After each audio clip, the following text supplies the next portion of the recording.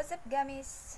Welcome back to my YouTube channel and so for today's video, ituturo ko sa inyo kung paano natin mawala yung copyright claim sa ating YouTube videos.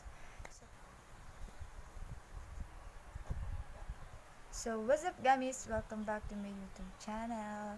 And so, for today's vlog, may panibago naman tayong tutorial.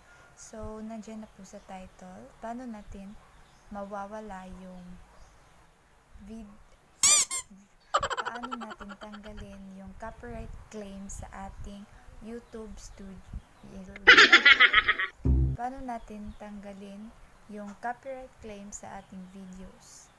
So, disclaimer lang po, hindi po ako pro at yung ituturo ko po sa inyo ay based lang sa na-experience ko kung based lang din ito sa ginawa ko para matanggal yung copyright claim sa aking videos. So, let's get started. So, as, as you can see guys, meron din akong copyright claim. Naka-dispute review na yan. So, hanap tayo ng ibang copyright claim na di pa na review. So, ito guys, copyright claim. See details. As you can see guys, channel impact not affected. So, hindi ito copyright strike. Select action you can replace song, mute song, or dispute. Depende kung ano ang gusto mong gawin or anong gustong action ang i-take mo para mawala yung copyright claim. mo yung dispute guys. Ayan, at ito yung kalabasan niya. Click mo yung may dispute. Is sent. Yan, check mo. Tapos click continue. Then click fair news, fair use rather. Tapos continue Then, check mo ng I believe may video. The select type. Since yung sa akin ay lyric video, lyric video yung i-click ko. So, next ay itong why is your this one click. Ang nilagay, ang nakita ko sa ibang YouTuber, kinaka-copy paste lang nila yung tungkol sa Fair Use Act at saka yan ang nilagay nila dyan. Pero, ginawa ko talaga siya guys. At yung reply sa akin, yung dispute ko ay hindi na granted siya. Rejected siya.